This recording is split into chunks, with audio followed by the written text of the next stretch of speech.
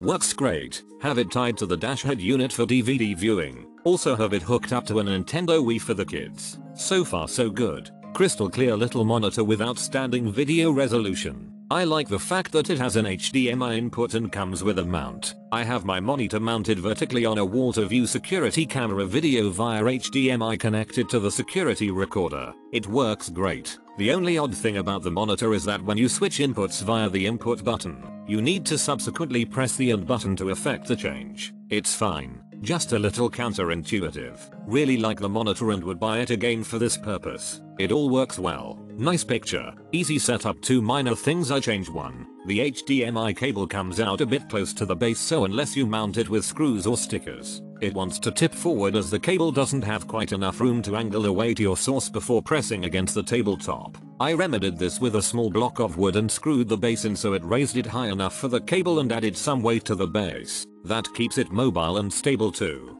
The remote could use a dedicated volume up and down rather than having to access it through the menu system but not really a big deal since the TV is close and has easy controls right on the front. I understand the simplicity of the remote, so it's quite okay as is overall it's got an easy 5 star for its picture quality and out of the box simple setup and ease of use. And the price is right so the two minor issues that I worked around easily aren't really relevant at this price point.